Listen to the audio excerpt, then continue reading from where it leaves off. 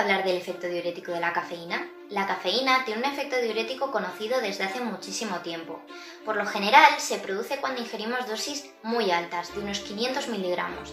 ¿Por qué digo muy altas? Porque al final en un café podéis encontrar unos 80 miligramos de cafeína. Por tanto, tomar dosis de más de 500 miligramos en una sola toma es complicado. Pero sí que es cierto que cuando administramos cafeína estando en reposo, sin hacer ejercicio, sí que hay una producción de orina aumentada.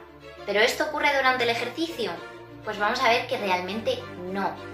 No es un factor por el que nos debamos preocupar, más que nada porque cuando estamos haciendo ejercicio aumenta la segregación de catecolaminas y se producen otros factores que al final lo que hacen es reabsorber más cantidad de agua por parte del riñón y retener más cantidad de solutos.